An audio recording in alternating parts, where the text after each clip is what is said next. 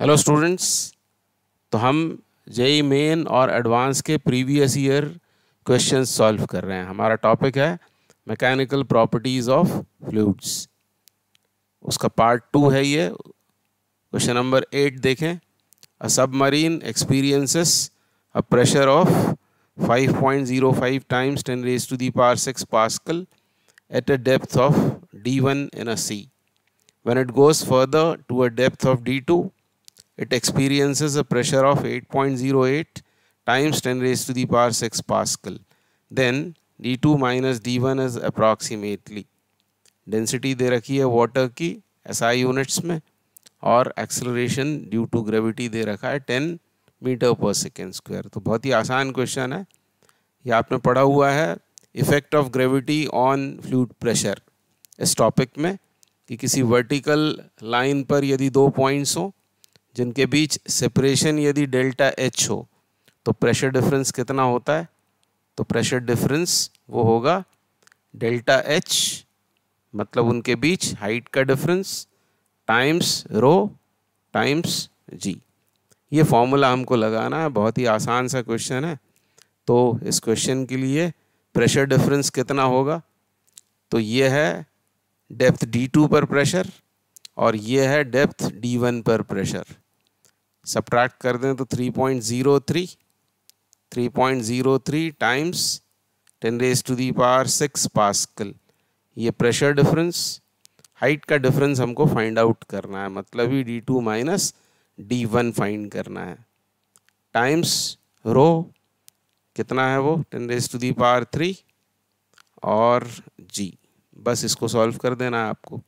तो ten raise to the power four हुआ। तो यहाँ बचेगा सिर्फ़ ten raise to the power two और three point zero three times ten raise to the power two करेंगे तो थ्री ज़ीरो थ्री आ जाएगा उनके बीच डेप्थ का difference three zero three metre यानी अप्रॉक्सीमेटली ये हो जाएगा थ्री हंड्रेड के बराबर approximately three hundred metre is our answer तो हमको मिल गई ये value D two minus D one की तो बहुत ही आसान सा क्वेश्चन था। आंसर ए करेक्ट हो जाएगा। अगला क्वेश्चन देखते हैं। ये भी क्वेश्चन जेई मेन अप्रैल 2019 में पूछा हुआ है। A wooden block floating in a bucket of water has four by five of its volume submerged when certain amount of an oil poured into the bucket, it is found that the block is just under the oil surface with half of its volume under water and half in oil. The density of oil relative to that of water is. तो यहाँ दो cases में बात हो रही है एक wooden block है और उसको पानी में सबमर्ज किया है और वो किस तरह फ्लोट हो रहा है कि उसका फोर फिफ्थ वॉल्यूम का फोर बाय फाइव ये इमर्स्ड है सबमर्ज्ड है और केस टू में बोल रहे हैं कि जब पानी के साथ कोई ऑयल पोर कर दिया जाता है। पानी तो उसमें था ही, ऊपर से ऑयल उसमें और पोर कर दिया। तब वो किस तरह से फ्लोट हो रहा है वुडन ब्लॉक इस तरह कि उसका आधा वॉल्यूम पानी में और आधा रहता है ऑयल में। तब हमको बतलाना है density of oil relative to that of water मतलब सिग्मा ऑयल का मतलब उसकी डेंसिटी अपॉन पानी की डेंसिटी यानी रिलेटिव डेंसिटी हमको बतलानी है ऑयल की। अब ऑप्शन से आप देख सकते हैं, सब वैल्यूज़ कैसी हैं? एक से कम। इसका मतलब वो जो ऑयल है, वो कैसा है? वो है पानी से हल्का। तभी उसकी रिलेटिव डेंसिटी एक से कम आई हुई है। तो दोनों केसेस को हम अलग अलग अब सॉल्व करेंगे। और केस वन में यदि हम बात करें तो लॉ ऑफ़ फ्लोटेशन हमको लगाना है।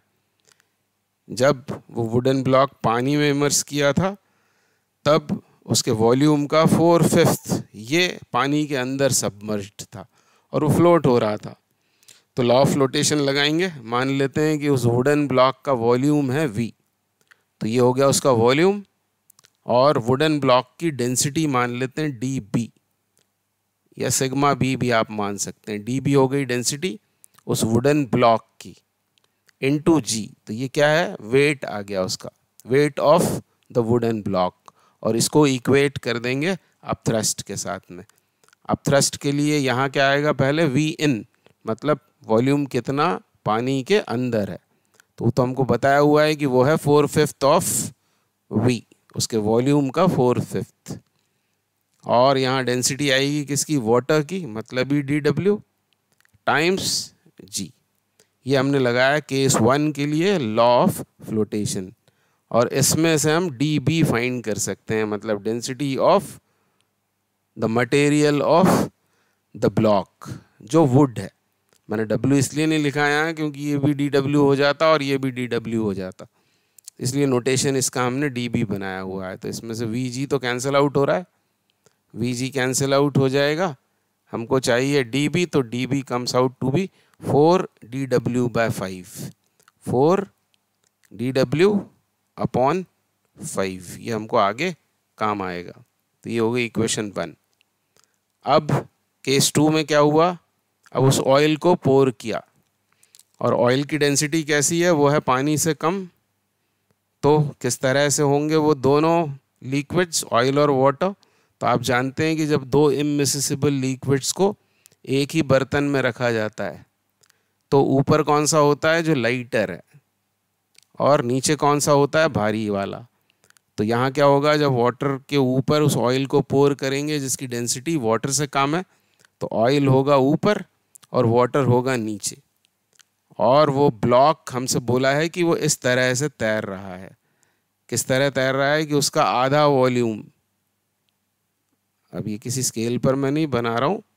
आधा वॉल्यूम उसका ऑयल में है और आधा वॉल्यूम उसका है पानी के अंदर। मतलब ये दोनों हैं V by two V by two और ये भी बोला हुआ है कि just under the oil surface मतलब उसकी एज एज से ज़्यादा अच्छा है कि हम उसका फेस बोलें।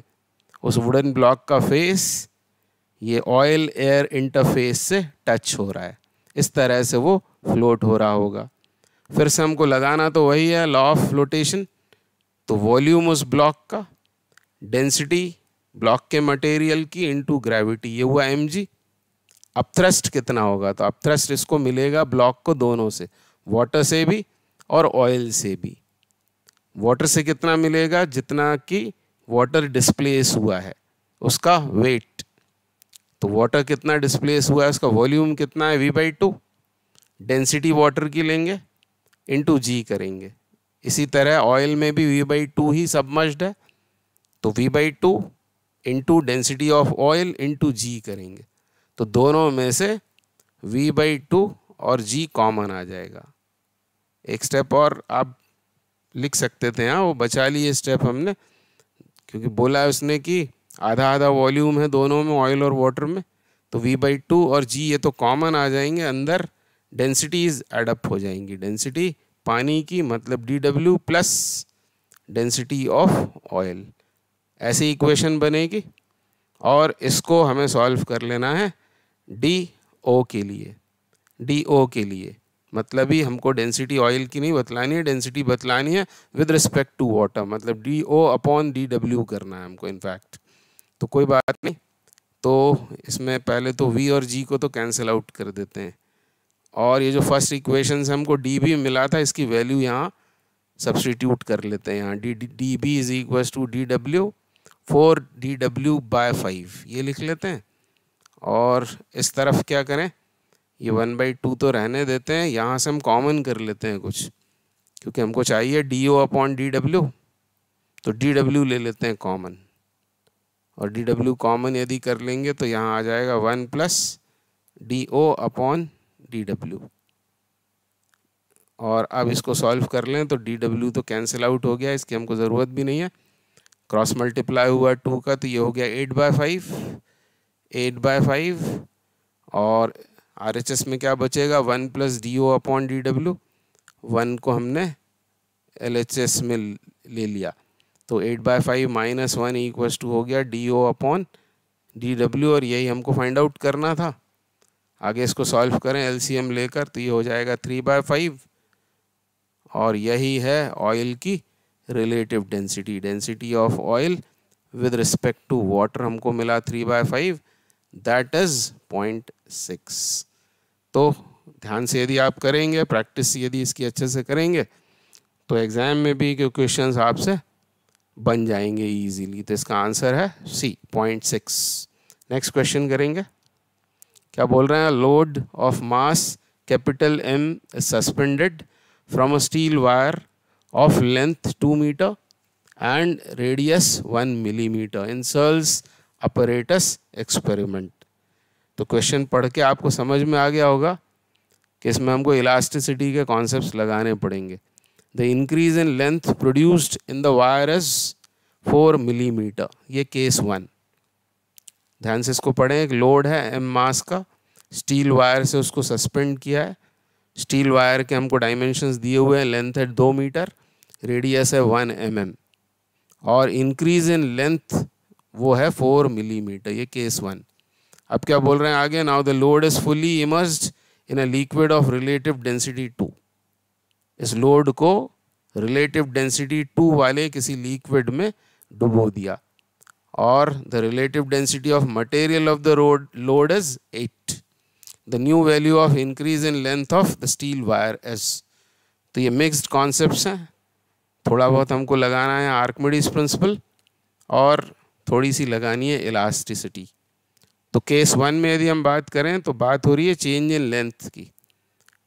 और क्योंकि वायर की बात हुई है, इसलिए हमको याद लाना पड़ेगा यंग्स मॉडुलस का फॉर्मूला क्या जानते हैं आप यंग्स मॉडुलस का formula Y is equals to होता है एम जी मतलब लोड जो सस्पेंड करते हैं into original length of the wire upon यहाँ क्या आता है? यहाँ आता है पाई आर स्क्वायर या एरिया ऑफ़ क्रॉस सेक्शन भी बोल सकते हैं। Pi R square into small L और स्मॉल एल है चेंज इन लेंथ तो चेंज इन लेंथ कितना हो जाएगा? M G capital L upon pi R square times Y ये चेंज इन लेंथ का फॉर्मूला है। अब यहाँ पर इस क्वेश्चन में आप ध्यान से देखें तो आप देखेंगे कि दोनों केसेस में पायर स्क्वायर मतलब एरिया ऑफ़ क्रॉस सेक्शन ये तो चेंज नहीं होगा कांस्टेंट है ये। इसी तरह से वाई मटेरियल की प्रॉपर्टी ये भी कांस्टेंट होगी और ये ओरिजिनल लेंथ ये भी कांस्टेंट रहेगा। यानी चेंज इन लेंथ ये डायरेक्टली प्रोपोर्शनल होगी किससे? एम जी से। आप चाहें तो एम को भी कांस्टेंट बना सकते हैं। एल तो डिपेंड करेगा किसके ऊपर? सिर्फ़ जी के ऊपर। और हम जानते हैं कि इफ़ेक्टिवली जब किसी सॉलिड को हम इमर्स करते हैं किसी लिक्विड में, तब इफ़ेक्टिवली जी ही चेंज होता है और उस वजह से उसका वेट चेंज हो जाता है। उसका फॉर्मूला भी आपको मालूम होगा शायद। नहीं मालूम तो मैं आपको बतला देता हूँ, ये फॉर्मूला यूज़ करना चाहिए। G dash is equal to G into one minus, यहाँ क्या आती है? डेंसिटी आती है लिक्विड की, और यहाँ डेंसिटी आएगी सॉलिड की D L upon D S कभी कभी उसको सिग्मा बाय रो भी लिखा रहता है रो बाय सिग्मा। तो ये याद रखें G dash is equal to G into one minus D L upon D S तो बस ये रिलेशन जब आपको मिल जाएगा तो आपको चाहिए क्या है? जब उसको फुली इमर्स कर देते हैं किसी लिक्विड में, तब चेंज इन लेंथ कितना है? ये जो लिखा हमने, चेंज इन लेंथ एक्चुअली ये है डेल्टा एल। तो हमको ऐसा फॉर्मूला बना लेना है, L two by L one equals M G dash, M G dash upon M G. तो एम भी कैंसिल आउट हो जाएगा, जी डैश अपॉन जी। तो जी डैश की ये जब वैल्यू आप यहाँ डालेंगे तो जी भी कैंसिल हो गया एम भी कैंसिल हो गया तो यहाँ बचता है सिर्फ़ one minus D L upon D S D L upon D S और हमको चाहिए एल टू उसके पहले कल भी हमने बात की थी कि किसी लिक्विड की जब हमको रिलेटिव डेंसिटी पता होती है तो रिलेटिव डेंसिटी जैसे यहाँ बोला इसने लिक्विड की डेंसिटी नहीं, बल्कि रिलेटिव डेंसिटी टू है तो डी एल है यदि हम इसको ग्राम पर सी एम क्यूब लिख दें। कल भी मैंने आपको बताया था कि relative density of a material is its density in C G S units फिर आप चाहो तो इसको two times ten raise to the power three इस तरह ऐसा यूनिट्स में भी बदल सकते हैं। ग्राम का किलोग्राम और सेंटीमीटर क्यूब का मीटर क्यूब करेंगे तो ये फैक्टर आएगा conversion factor ten raise to the power three तो ये कन्वर्ट हो गया के जी पर मीटर क्यूब में। तो इस तरह हमको डेंसिटी पता है उस लिक्विड की। इसी तरह relative density of material of the load मतलब ये जो आपको दिया हुआ था मास जो आपने सस्पेंड किया था, उसके मटेरियल की भी हमको रिलेटिव डेंसिटी पता है। मतलब डेंसिटी ऑफ़ सॉलिड हम लिख सकते हैं। क्या लिख सकते हैं? एट एट ग्राम पर सेंटीमीटर क्यूब लिख लें, चाहे eight times ten raise to the power three K G पर मीटर क्यूब लिख लें कुछ भी लिखा जा सकता है। और यहाँ पर आप देख रहे हैं D L by D S ये तो प्योर रेशो हुआ तो किन्हीं भी यूनिट्स में इसको सब्सटीट्यूट किया जा सकता था। मतलब ये सब तमाशा भी करने की ज़रूरत नहीं है, सिर्फ़ मन में सोचना है हमको कि ये रिलेटिव डेंसिटीज़ दी हैं इनको डायरेक्टली यहाँ पर यूज़ कर लेंगे। समय बच सकता है आपका। तो यहाँ आ जाएगा ये टू बाय एट यानी वन बाय फोर और वन बाय फोर यानि थ्री बाय फोर। और हमें क्या चाहिए? हमें चाहिए एल टू तो एल टू होगा three by four L one और एल वन मतलब पहले जो इंक्रीमेंट था लेंथ में। और वो कितना है? Four M M four M M तो ये कितना हो जाएगा? फोर से फोर कैंसिल होके थ्री एम एम आ जाएगा। इस तरह आंसर ए इज़ करेक्ट तो इसमें इलास्टिसिटी और आर्कमिडीज प्रिंसिपल इन कॉन्सेप्ट्स को मिक्सअप किया हुआ है। अगला क्वेश्चन करेंगे। क्या बोल रहे हैं? Soap bubble blown by a mechanical pump at the mouth of a tube increases in volume with time मतलब यहाँ जो दो क्वांटिटीज़ हैं, वो हैं वॉल्यूम और time at a constant rate मतलब क्या हो रहा है? टाइम के साथ वॉल्यूम यूनिफॉर्मली चेंज हो रहा है। टाइम के साथ वॉल्यूम यूनिफॉर्मली चेंज हो रहा है जब किसी मैकेनिकल पंप से किसी सोप बबल में एयर ब्लो की जाती है। तो हमको बताना क्या है? The graph that correctly depicts the time dependence of pressure inside the bubble तो पहला थॉट आपके दिमाग में क्या आना चाहिए? तो यहाँ बात हुई है सोप बबल की। और सोप बबल की यदि बात हो रही है तो आप जानते हैं कि किसी सोप बबल में एक्सेस प्रेशर होता है। मतलब बाहर जो प्रेशर है, उससे कुछ ज़्यादा प्रेशर अंदर होता है। तो नेट प्रेशर कितना होगा? पी बराबर हम लिखेंगे पी नॉट मतलब एटमॉस्फेरिक प्रेशर ये मानते हुए कि सोप बबल को हमने एयर में रखा हुआ है और उसमें किसी मैकेनिकल पंप से एयर ब्लो की जा रही है उस सोप बबल के अंदर। तो पी नॉट तो ये बाहर का प्रेशर हुआ और अंदर कितना होगा एक्सेस में? तो एक्सेस में होगा फोर टी बाय आर तो सोप बबल के लिए एक्सेस प्रेशर होता है फोर टी बाई आर और यही बात यदि किसकी हो रही होती? यदि ड्रॉप की हो रही होती तो यहाँ आता है टू टी बाई आर ये सिर्फ़ मैं आपको याद दिला रहा हूँ। तो पी बराबर P not plus four T by R ये थॉट सबसे पहले दिमाग में आना चाहिए। इसका मतलब प्रेशर रेडियस के साथ में चेंज हो रहा है। टी तो सरफेस टेंशन है, उसको कांस्टेंट मान लेंगे फोर तो है ही कांस्टेंट पी नॉट भी कांस्टेंट है। मतलब वेरिएबल्स हैं पी और आर मतलब प्रेशर रेडियस के साथ में चेंज होगा। अब यहाँ हमको गिवन है कि वो जो वॉल्यूम है, उस सोप बबल का, वो वॉल्यूम टाइम के साथ कैसा रिलेशन है उसका? डायरेक्टली प्रोपोर्शनल का। ये क्वेश्चन में ही हमसे बोला हुआ है कांस्टेंट रेट से वॉल्यूम इंक्रीज हो रहा है विद टाइम तो V is proportional to T होगा। प्रोपोर्शनैलिटी साइन हटाएँगे तो यहाँ एक कांस्टेंट डाल सकते हैं। वी इज़ इक्व टू हो जाएगा सी टी अब, क्योंकि बबल की बात हुई है स्वेरिकली ये होगा तो four by three pi capital R cubed ये होगा उसका volume is equals to C T और ये फोर बाय थ्री पाई इन दोनों को ट्रांसपोज कर दें इधर आर एच एस में और एक नया कांस्टेंट बना दें तो हम सीधे बोल सकते हैं कि R cube is proportional to T या हम बोल सकते हैं R is proportional to T to the power one by three T raise to the power one by three यानी इस प्रोपो एक प्रोपोर्शनलिटी कांस्टेंट की यहाँ ज़रूरत पड़ेगी हालाँकि, और वो प्रोपोर्शनलिटी कांस्टेंट यहाँ पर, यदि डाल दें हम आर की वैल्यू प्रोपोर्शनलिटी कांस्टेंट के साथ तो इक्वेशन वन से हमको क्या समझ में आ रहा है? P is equals to P not from 1 P is equals to P naught plus 4T ये तो सरफेस टेंशन है।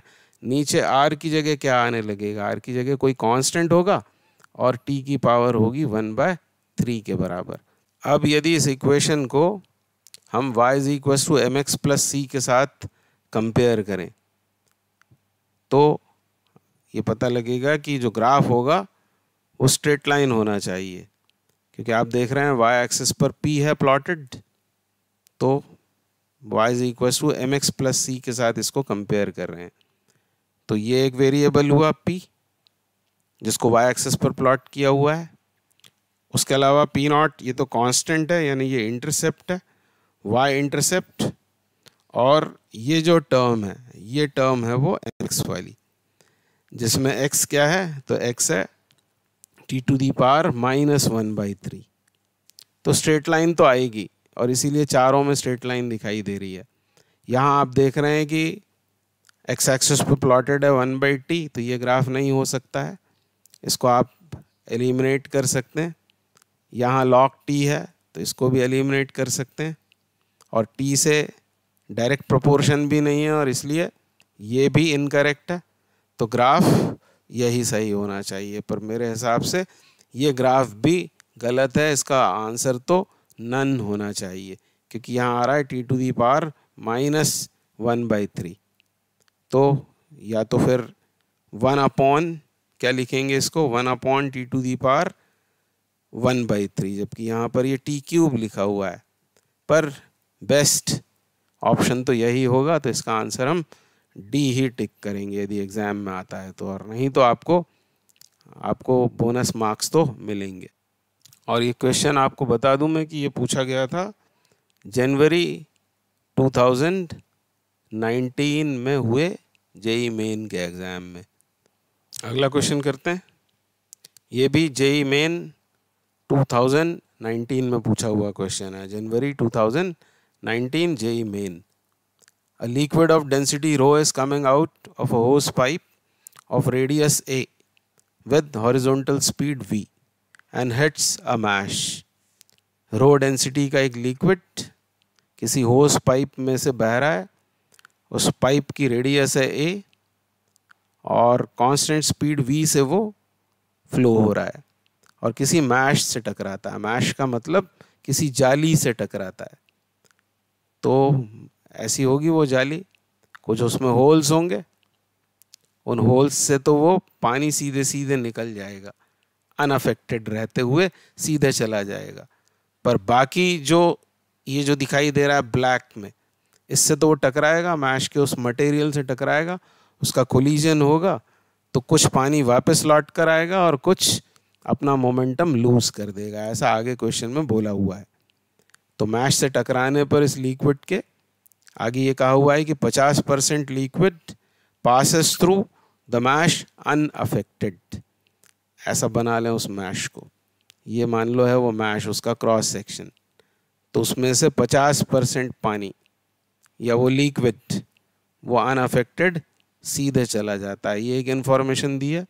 आगे बोल रहे हैं 25 percent loses all its momentum 25 percent यानी वन फोर्थ वो अपना पूरा मोमेंटम लूज कर देता है liquid and 25 percent comes back with the same speed और बचा हुआ वन फोर्थ ये वापस लौटता है with same speed with same speed हमको बतलाना क्या है? The resultant pressure on the mash अब रिजल्टेंट प्रेशर बताना है तो प्रेशर आप जानते हैं, वो होता है फोर्स अपॉन एरिया और फोर्स क्या होता है?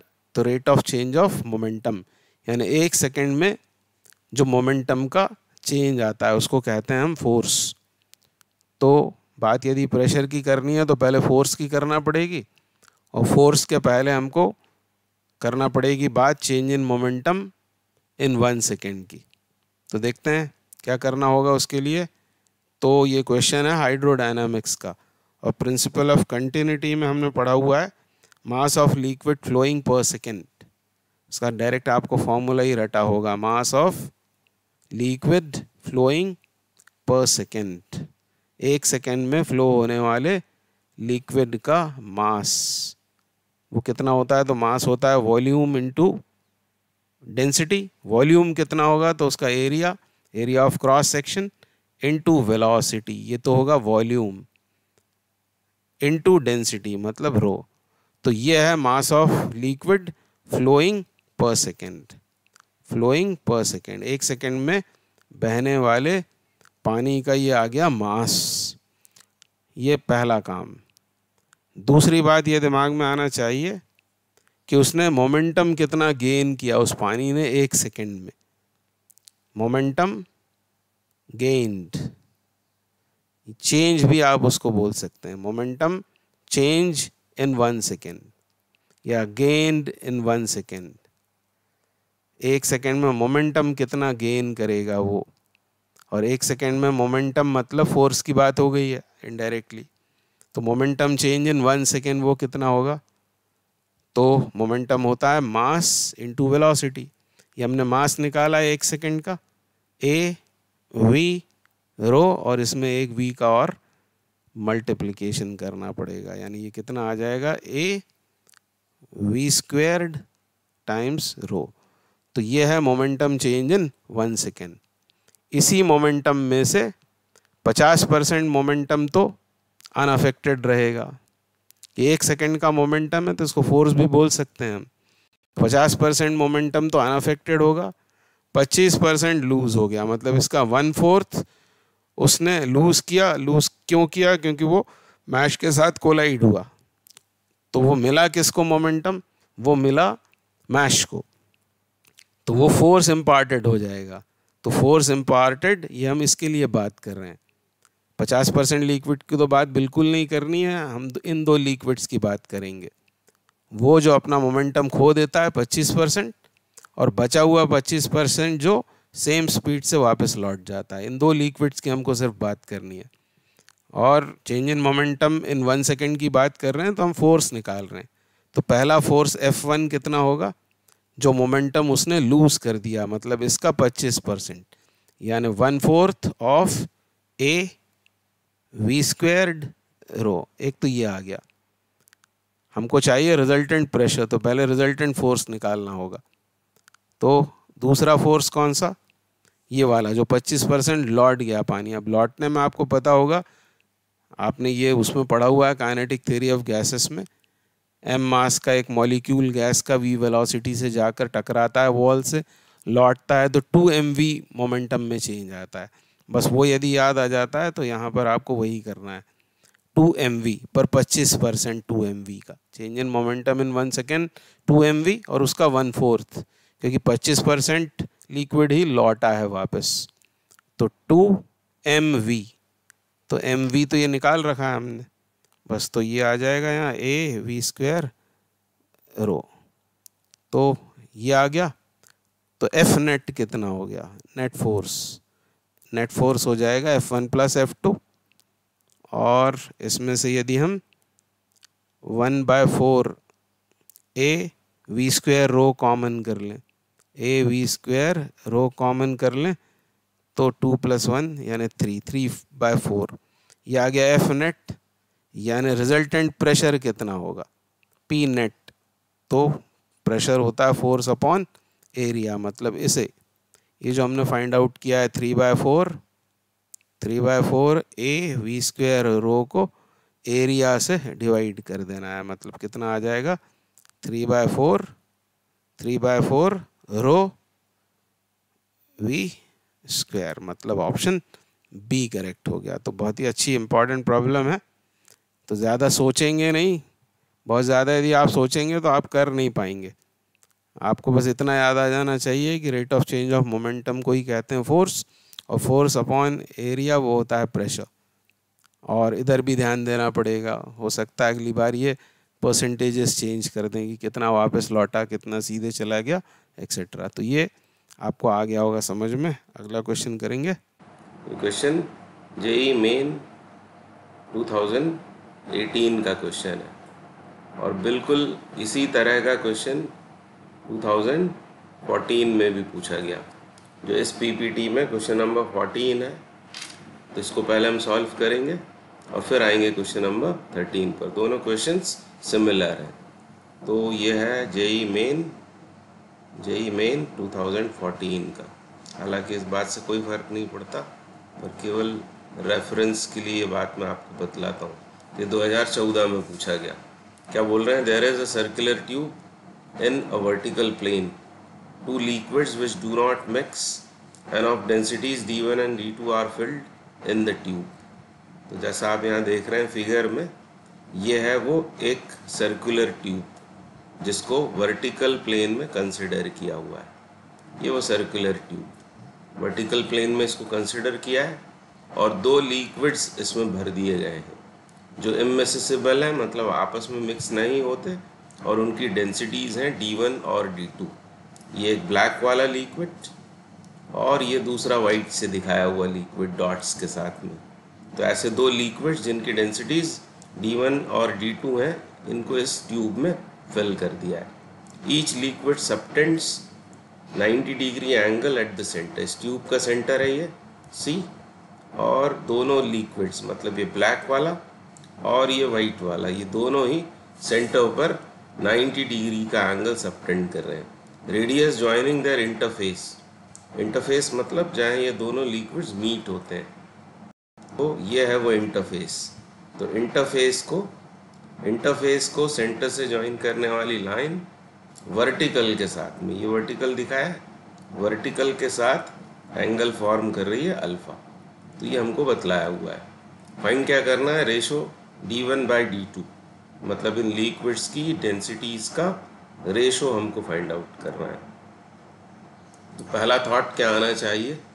तो आप जानते हैं कि किसी लिक्विड में, किसी फ्लूड में वर्टिकल लाइन पर यदि दो पॉइंट्स सेपरेशन एच पर हो तो उनके बीच प्रेशर डिफरेंस होता है एच रो जी पर यदि किसी कर्व्ड लिक्विड की बात करें मतलब किसी कर्व्ड ट्यूब में कोई लिक्विड फिल किया हुआ है, और हमको मान लो ए और बी के बीच में चाहिए प्रेशर डिफरेंस तब जो एच कैलकुलेट करेंगे, वो इस आर्क की लेंथ नहीं लेंगे, बल्कि हमको लेना होती है वर्टिकल सेपरेशन या वर्टिकल हाइट इस बात का ध्यान रखेंगे।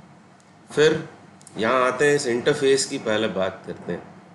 अब इंटरफेस कैसा है? इक्वली इक्विलिब्रियम में।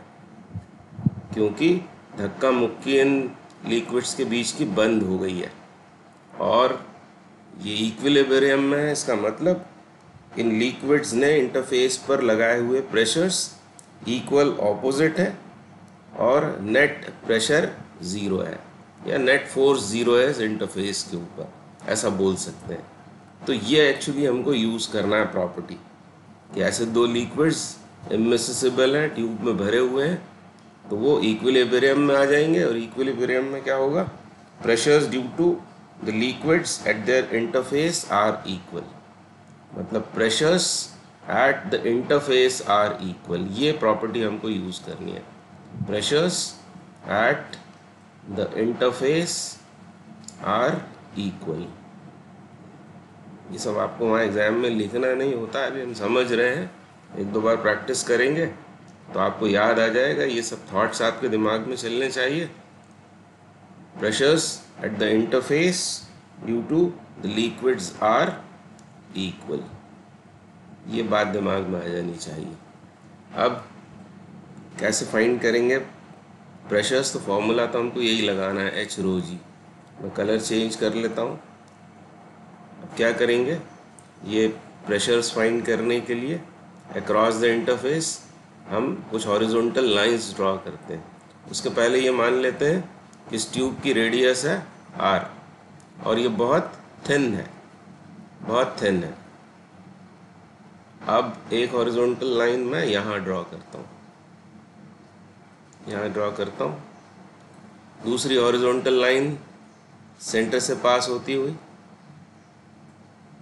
तीसरी लाइन यहाँ ड्रॉ करता हूँ। और चौथी लाइन यहाँ से, इस पॉइंट से होती हुई। तो ऐसी चार लाइंस हम ड्रॉ कर लेते हैं। ऐसा डायग्राम आप बना लेना कॉपी में और फिर इसको सॉल्व करना।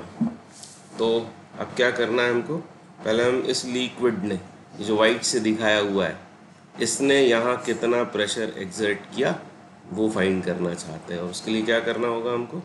हमको इस लेंथ की ज़रूरत पड़ेगी या इस वर्टिकल हाइट की ज़रूरत पड़ेगी। इसको फाइंड करते हैं जोमेट्रिकली तो पहले एंगल्स की बात करना पड़ेगी। अब ये देख रहे हैं आप, ये एंगल अल्फ़ा है, ये है नाइन्टी ऑब्वियसली ये वाला एंगल होगा नाइन्टी माइनस अल्फ़ा, और ये है नाइन्टी। तो ये कितना हो जाएगा? ये अल्फ़ा। एक तो इस एंगल की हमको ज़रूरत है। दूसरा, आप देख रहे हैं कि ये तो इन्होंने बताया हुआ था वर्टिकल है। ये हमने हॉरिजॉन्टल लाइन ड्रॉ की है। तो ये एंगल कितना है? ये है नाइन्टी। ये अल्फ़ा है तो नाइन्टी माइनस अल्फ़ा होगा। नाइन्टी माइनस अल्फ़ा होगा ये। और फिर ये नाइन्टी माइनस अल्फ़ा होने की वजह से ये एंगल हमको मिल जाएगा। अल्फ़ा के बराबर। थोड़ी सी जोमेट्री लगानी है, दो एंगल्स हमको चाहिए होते हैं एक्चुअली तो अब ये लेंथ हमको निकालनी है। करना क्या है हमको? हमको प्रेशर्स को इक्वेट करना है। तो ब्लैक वाले ने मान लो इंटरफेस पर प्रेशर एग्जर्ट किया पी वन और वाइट वाले ने किया पी टू तो पहले हम पी टू फाइंड आउट कर रहे हैं। उसके लिए हमको ये जो मैंने दिखाई हुई है, ये हाइट चाहिए है। इसको मैं लिख लेता हूँ एच टू ये एच टू हमको चाहिए तो पहले हम निकालेंगे, ये लेंथ कितनी है? ये लेंथ कैसे आएगी? तो ये एंगल अल्फ़ा है, ये रेडियस है उस ट्यूब का तो ये हो जाएगा r sine alpha r sine alpha फिर अब हमको चाहिए ये वाली लेंथ तो फिर से थोड़ी सी ज्योमेट्री लगानी पड़ेगी। इसको फाइंड करने के लिए क्या करना होगा? इस ट्रायंगल में आते हैं। और इस ट्रायंगल में ये अल्फ़ा है तो ये बेस है। यहाँ यदि मैं इस पॉइंट को बोल दूँ ए तो मैं ये सी ए की बात कर रहा हूँ। इसको बोल देता हूँ मैं बी तो मैं ट्रायंगल सी ए बी में बात कर रहा हूँ, ये अल्फ़ा है। सी बी इज़ आर और इसलिए सी ए क्या हो जाएगा? तो ये हो जाएगा r cos alpha r cos alpha इस तरह एच टू कितना आया? वो आया r sine alpha plus r cos alpha r sine alpha plus r cos alpha तो ये आ गया एच टू एच टू के साथ किसका मल्टीप्लिकेशन करेंगे? इस लिक्विड की डेंसिटी का। तो डेंसिटी इसकी है d two into g formula हमने लगाया एच रो जी तो ये आ गया आर एच एस में पी टू अब पी वन फाइंड करना है तो इस तरफ़ आना पड़ेगा। हमको चाहिए एक्चुअली ये वाली हाइट ये कितनी होगी?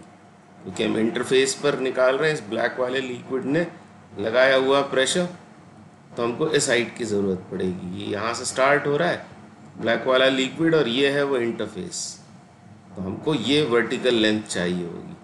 इसको फाइंड करने के लिए पहले देखें कि ये सी ए कितना है। सी ए अभी हमने निकाला था आर कॉस अल्फ़ा और यदि मैं फाइंड करता हूँ ये वाली लेंथ यहाँ ये सी से आ, क्या नाम दे दें इसको? एक्स नाम दे दें मान लो इस पॉइंट को। तो सी एक्स कितना होगा?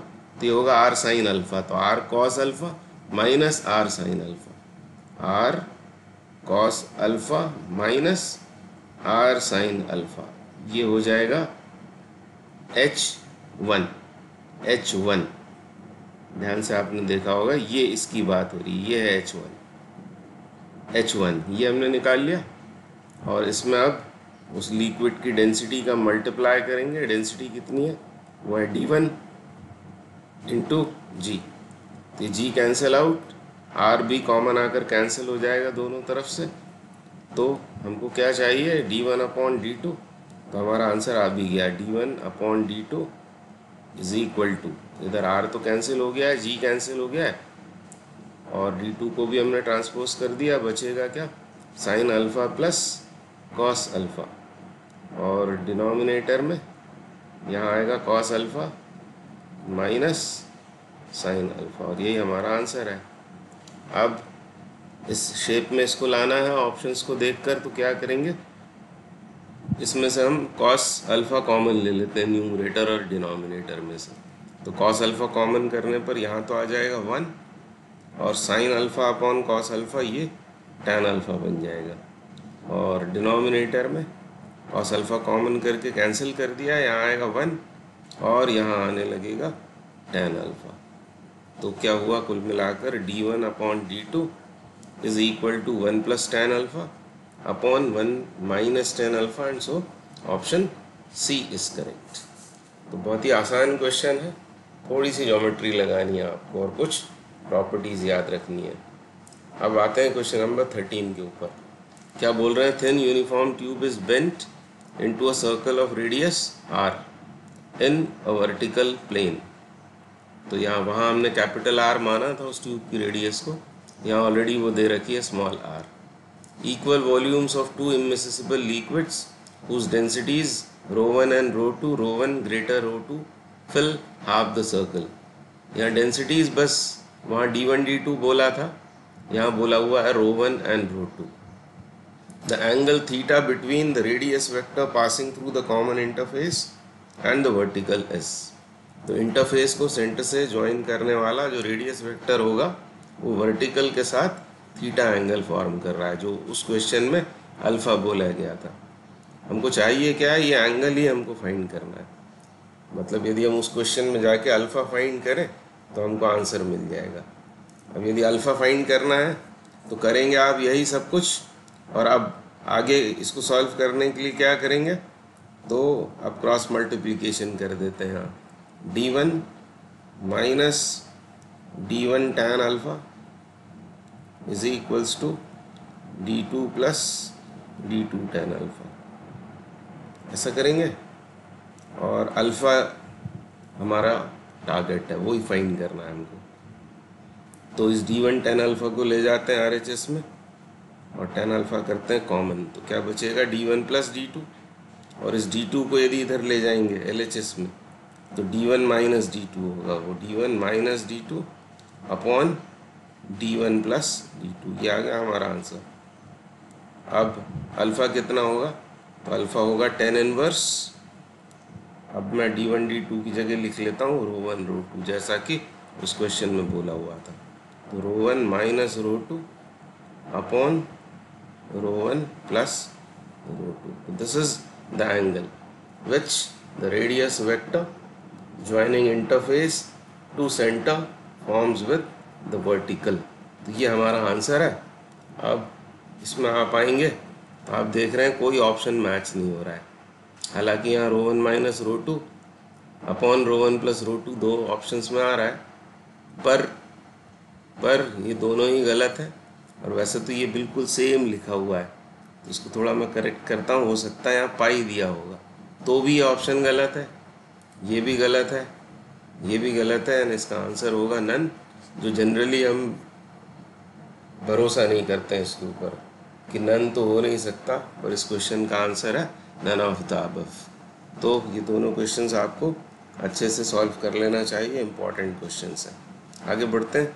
अगला क्वेश्चन करेंगे uniform cylinder of length l mass m having cross sectional area a suspended with its length vertical from a fixed point by a massless spring such that it is half submerged in a liquid of density sigma at equilibrium position. the extension x naught of the spring when it is in equilibrium s तो मैं इसको यहाँ draw करता हूँ situation को तो एक spring है एक स्प्रिंग के साथ एक क्या जुड़ा हुआ है? Uniform cylinder. एक यूनिफॉर्म सिलेंडर। और सिलेंडर को सबमर्ज किया है। किसी लिक्विड में जिसकी डेंसिटी है सिग्मा।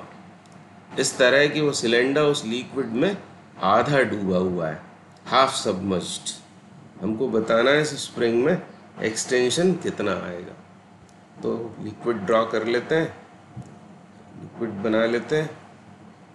ये है वो लिक्विड हाफ़ सबमर्ज्ड है ये सिलेंडर उस लिक्विड में, जिसकी डेंसिटी है, जिसकी डेंसिटी है सिग्मा और सिलेंडर के लिए क्या क्या हमको दिया हुआ है? इसका मास दिया है एम इसकी लेंथ है L area of cross section जो सर्कुलर होता है वो है ए ये सब दिया हुआ है, हमको बताना है स्प्रिंग में कितना एक्सटेंशन आएगा? मान लेते हैं इस स्प्रिंग का स्प्रिंग कांस्टेंट है के हालाँकि क्वेश्चन में नहीं बोला है, पर उसको हमने मान लिया कि वो के है। अब क्या करेंगे? तो ये इक्विलिब्रियम में है सिलेंडर कौन कौन से फोर्सेस इस पर लग रहे होंगे? तो एफबीडी बनाएँगे इसका। Free body diagram of the cylinder मन ही मन में सोचेंगे कौन कौन से फोर्सेस उस सिलेंडर पर आएँगे? तो एक तो आएगा उसका वेट डाउनवर्ड्स एम दूसरा होगा अपथ्रस्ट अपवर्ड और तीसरा फोर्स होगा स्प्रिंग फोर्स क्योंकि ये स्प्रिंग एलोंगेट होगी। एलोंगेट होगी तो ऊपर की तरफ़ फोर्स काम करेगा स्प्रिंग फोर्स स्प्रिंग कांस्टेंट के हो एक्सटेंशन एक्स नॉट हो तो के एक्स नॉट ये स्प्रिंग फोर्स अपवर्ड एक्ट करेगा। और ये सिलेंडर क्योंकि है इक्विलिब्रियम में तो हम न्यूटन का लॉ लगा देंगे। फ़र्स्ट लॉ लगा देते हैं। इक्विलिब्रियम में मतलब नेट फोर्स ज़ीरो है। यानी फोर्सेस को बैलेंस कर लेना है इन शॉर्ट। तो के एक्स नॉट, ये spring force, upward, plus up thrust ये दोनों अपवर्ड फोर्सेस। तो ये नेट फोर्स अपवर्ड और डाउनवर्ड्स नेट फोर्स कितना होगा? वो वेट के बराबर, यानी एम बस इसको हमें सॉल्व कर देना है फॉर एक्स नॉट। तो के एक्स नॉट अब अपथ्रस्ट कितना होगा? तो अपथ्रस्ट मतलब पहले हमको चाहिए volume of the liquid displaced तो क्योंकि यहाँ बोला हुआ है कि हाफ़ वो जो सिलेंडर है, वो आधा सबमर्ज्ड है उस लिक्विड में। तो वॉल्यूम का आधा लेना पड़ेगा हमको। वॉल्यूम का आधा, और वॉल्यूम कितना होगा इस सिलेंडर का? Area of cross section into length तो ए एल बाय टू ये तो हुआ volume volume of the cylinder submerged in the liquid या फिर वॉल्यूम ऑफ़ लिक्विड डिस्प्लेस्ड और लिक्विड की डेंसिटी का इसमें मल्टीप्लाई करेंगे सिग्मा का टाइम्स जी तो ये हो गया आप thrust equals to M G is equal to M G तो K X naught equals to M G M G तो है ऑलरेडी यहाँ पर. एम जी में से इसको सब्ट्रैक्ट करना है। इसको A L sigma G by two ऐसा हो जाएगा और अब एक्स नॉट फाइंड करना है। तो बस इसमें से अब एक्स नॉट को अब स्टार्ट कर लेना है। एक्स नॉट इक्वल्स टू हो जाएगा M G by K M G upon K फिर इधर भी A L sigma G upon two K और अब M G by K common ले लेते हैं, क्योंकि आप ऑप्शंस में देख रहे हैं, तीन ऑप्शंस बल्कि चारों में एम जी बाई के तो अपीयर हो ही रहा है। तो M G by K common कर लें, अंदर क्या बचेगा? One minus A L A L sigma G और के तो बाहर चला गया है टू बचेगा, और इसे डिवाइड कर देते हैं एम जी से एम जी से। तो हमारा आंसर भी आ जाएगा। क्या हुआ? एम जी बाई के और ब्रैकेट के अंदर one minus A L sigma upon two M तो ये इस क्वेश्चन का आंसर होगा और आंसर सी इससे मैच हो रहा है। तो ये है आंसर इस क्वेश्चन का और ये क्वेश्चन पूछा था जेई मेन 2013 में। जेई मेन 2013 में। आगे बढ़ते हैं। अभी अगला क्वेश्चन करेंगे। ये जेई 2010 का क्वेश्चन है। क्या बोल रहे हैं? A ball is made of a material of density rho where rho oil is less than rho is less than rho water rho oil and rho water representing the densities of oil and water respectively मतलब इस question में बात हुई है oil water और एक ball की। और इनके डेंसिटीज़ में हमको रिलेशन दिया हुआ है। क्या बोल रहे हैं? Rho oil is less than density of the material of the ball is less than density of water तो क्लियरली ये जो ऑयल है, वो है लाइटर और वाटर है हेवियर आगे बोल रहे हैं the oil and water are immiscible मतलब मिक्स नहीं हो रहे हैं। If the above ball is an equilibrium in a mixture of this oil and water which of the following pictures represents its equilibrium position तो एक vessel में oil और water को साथ में लिया हुआ है, और यहाँ आपको दिख रहा है कि डेंसिटी ऑयल की वाटर से कम है। तो जब इनको एक ही वेसल में फिल करेंगे तो क्या होगा? क्योंकि डेंसिटी ऑयल की कम है।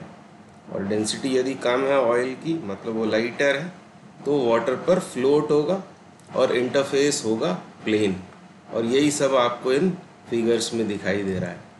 तो सबसे पहले तो आपको यही तय करना पड़ेगा कि ऑयल और वाटर में से कौन लाइटर है, कौन हेवियर है। तो जो लाइटर लिक्विड होगा, वो होगा ऊपर हेवियर होगा नीचे। तो इसमें उल्टा हो रहा है ऑप्शन ए में और ऑप्शन सी में। तो ऑप्शन बी या डी में से कोई करेक्ट हो सकता है, क्योंकि ऑयल ऊपर है और वाटर नीचे है। ऑयल की डेंसिटी कम है मतलब ये है रो ओ और ये रो वाटर दोनों में। और रो ओ कम है तो इन दो ऑप्शंस में से कोई एक ऑप्शन हो सकता है। अब तीसरा है बॉल हमको बताना है कि इन दोनों में से फिर कौन सा ऑप्शन सही है। तो अब यदि ऑयल और बॉल की डेंसिटी को कंपेयर करें। तो बॉल की डेंसिटी कैसी है? ऑयल से ज़्यादा है। ऑयल से ज़्यादा है। और डेंसिटी यदि बॉल की ऑयल से ज़्यादा है, इसका मतलब वो ऑयल में सिंक हो जाएगा। Will sink in the oil क्योंकि उसकी डेंसिटी ज़्यादा है। Will sink in the oil पर यदि आप देख रहे हैं कि रो मतलब बॉल की डेंसिटी यदि कम है वाटर से, वो तो फ्लोट होगा। किसमें वो बॉल फ्लोट होगा वाटर में। Will float in, will float in water. ऐसा होगा मतलब ऑयल में उसे सिंक हो जाना है और वाटर में वो फ्लोट होगा और पार्शली इमर्ज होगा वाटर में, with partially emerge volume, with partial immersion ऐसा भी बोल सकते हैं, या with partial immersion in water तो बस ये सब बातें यदि दिमाग में आ जाती हैं तो आप ऑप्शन तक पहुँच जाएँगे। तो आप ध्यान से इसको देखें। तो एक तो ऑयल ऊपर वाटर नीचे होना चाहिए, यानी ऑप्शन बी और डी में से कोई एक करेक्ट है। फिर क्योंकि बॉल के मटेरियल की डेंसिटी ऑयल से ज़्यादा है तो उसमें सिंक हो जाना चाहिए उसे। तो इसमें तो वो फ्लोट हो रहा है, यानी ये गलत हो गया। ये सही हो गया। ऑयल में वो सिंक हो जाएगी और वाटर में पार्शली इमर्स रहेगी। दिख ही रहा है आपको। कुछ हिस्सा उसका वाटर से बाहर है। ऑप्शन बी इसका करेक्ट हो जाएगा। तो ये इस क्वेश्चन का आंसर है। अगला क्वेश्चन करेंगे। क्वेश्चन नंबर सेवेंटीन ये भी जेई 2010 में पूछा हुआ क्वेश्चन है। और इसमें इलेक्ट्रोस्टैटिक्स के भी कॉन्सेप्ट्स लग रहे हैं और फ्लूड मैकेनिक्स भी लग रही है थोड़ी सी और थोड़ा सा पेंडुलम की भी बात हमको करना पड़ेगी। तो क्या बोला है? दो आइडेंटिकल चार्ज स्फीयर्स हैं। Are suspended by strings of equal lengths the strings make an angle of 30 degree with each other ये पहला कंडीशन तो इसी की पहले बात कर लेते हैं। तो यहाँ मैं उसको डायग्राम बनाता हूँ केस वन इसको अच्छे से समझ लेंगे, बहुत आसान है इसका सॉल्यूशन यदि ये समझ में आ जाता है तो ये सब भी आपको वहाँ एग्ज़ाम में नहीं सोचना है। तो ये बनाया मैंने, वो दो स्ट्रिंग्स को, और ये वो दो स्फीयर्स इनको टांगा गया इस तरह से, और क्योंकि ये चार्ज हैं दोनों तो इनमें आएगा रिपल्शन का force electrostatic force of repulsion इनके बीच में एक्ट करेगा। और ये बॉल्स यदि यहाँ इक्विलिब्रियम में आ गई हैं, अब आप चाहो तो मान लो कि चार्ज इन पर है क्यू मास एम है दोनों बॉल्स का, क्योंकि आइडेंटिकल हैं दोनों दोनों का मास एम दोनों पर चार्ज है क्यू अब इसके इक्विलिब्रियम की हम बात कर लेते हैं बॉल के इक्विलिब्रियम की। तो कौन कौन से फोर्सेस उस बॉल पर आएँगे? तो एक तो होगा इसका वेट एम जी डाउनवर्ड्स दूसरा होगा टेंशन इन द रोप। ये सिर्फ़ एक ही बॉल की हम बात कर रहे हैं। दोनों बॉल्स इक्विलिब्रियम में होंगी। तो ये दो फोर्सेस आएँगे एम जी टी इसके अलावा एक आएगा force of repulsion electrostatic force of repulsion इनको फाइंड करने की ज़रूरत नहीं है। सिर्फ़ इस तरह सोचना है कि तीन फोर्सेस इस बॉल पर लगेंगे। और ये एंगल हाफ़ एंगल हम मान लेते हैं कि वो है थीटा और यहाँ टू थीटा हमको दिया हुआ है। क्योंकि पहले केस में उसने बोला है strings make an angle of thirty degree with each other तो हाफ़ एंगल यदि कितना है थीटा तो two theta is given to be thirty degree अब इसके इक्विलिब्रियम की बात करें यदि, इस टेंशन को मैं रिजॉल्व करता हूँ। टेंशन का एक कंपोनेंट तो यहाँ निकालेंगे हम। ये एंगल थीटा होगा, ये यदि थीटा सपोज़ किया है तो ये भी थीटा होगा। तो ये टेंशन का कंपोनेंट हो जाएगा। टी कॉस थीटा और इधर टेंशन का कंपोनेंट होगा T sine theta T sine theta ये एफ़ ई से निपट लेगा। T sine theta will balance F E और टी कॉस थीटा ये बैलेंस कर देगा एम जी को। यानी नेट फोर्स उस बॉल पर हो जाएगा। ज़ीरो ऐसी दो इक्वेशंस बन जाती हैं।